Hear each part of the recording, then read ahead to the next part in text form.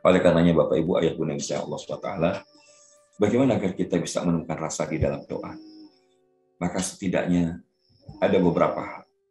Maka pada saat kita berbincang mesra dalam doa kita, yakinilah kita sedang berdialog, berbincang mesra dengan zat yang maha mencintai dan selalu menanti hambanya kembali.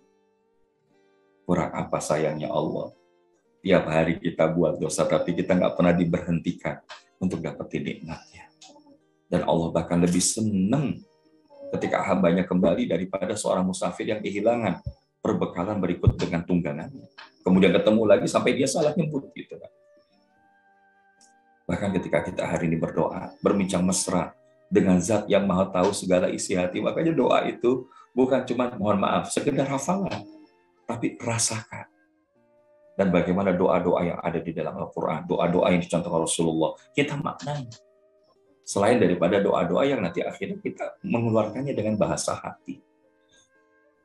Dan menemukan rasa di dalam doa. Berbincang mesra dengan zat yang maha kuasa melepas segala susah dan memberikan solusi.